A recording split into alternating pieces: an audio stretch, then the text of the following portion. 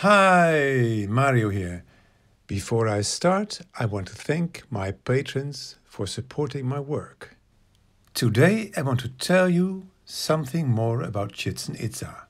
Chichen Itza is one of the largest ancient sites in the Americas with about 46 monuments on it, from small to large. We measured all 46 monuments on their orientation you see here the list of measurements.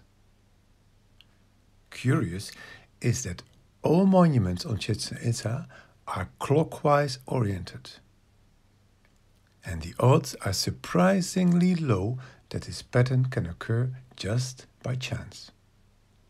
The orientation pattern on Chichen Itza seems to be chaotic, but that appears not to be true. The orientations are between 0 and plus 27 degrees. There are many theories devised about the pyramid of Kukulkan that a snake descends during the summer solstice. But no one ever wondered why this pyramid is oriented the way it is. And why there are two similar oriented smaller pyramids inside because the superstitious religious offspring of the original builders renovated the pyramid many thousands of years later, leaving the original orientation of the foundation intact. But how old is Chichen Itza really? If you know about a theory, you know about the five poles, the poles 1 to 5. Pole 1 is our current geographic pole. It's not the magnetic pole, it is the pole around which the Earth spins, called the geographic pole or the spin axis. We also discovered four other geographic poles pole 2, pole 3, pole 4, and pole 5. We have an approximate location of pole 6 the ages and the positions of the poles 1 to 5 are proven. Pole 1 is the easiest pole to find because it is our current geographic pole. Ancient monuments, like the pyramids of Giza, are oriented to our current pole 1. To prove the other pole positions, we have collected a massive database of virtually all ancient monuments around the world and their orientation patterns have guided us to these five pole positions.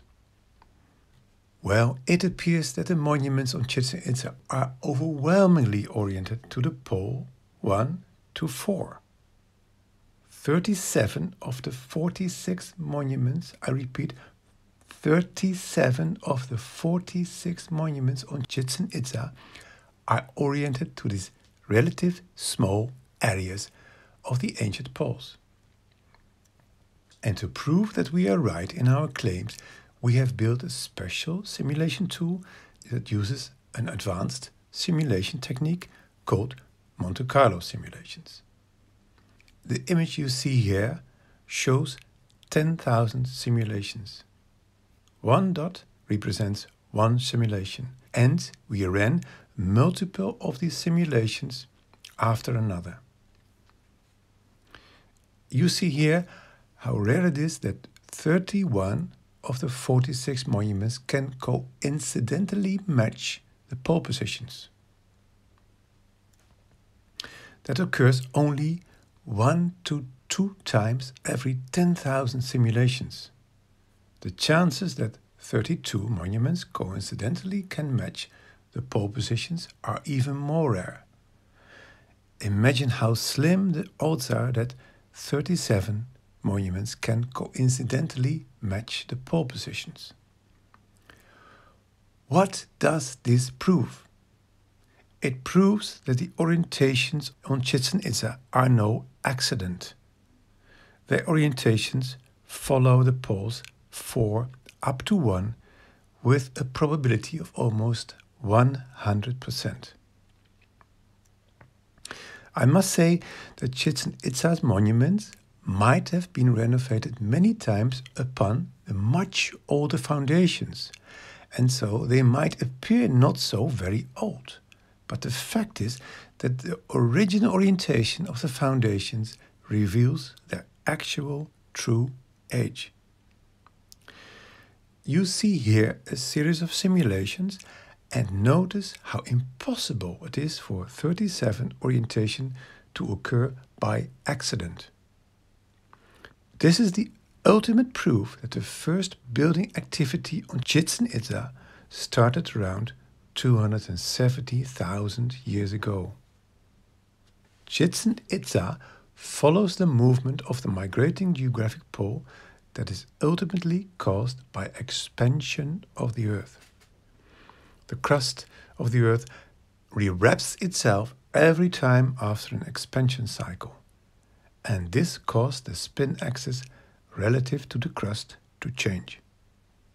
You can find more of our work on Patreon. You can follow us and support our work on Patreon if you subscribe to the tier Unlock Secret Content or higher, you receive a password to unlock articles on our website, which is only for members. Thank you for watching. Bye bye.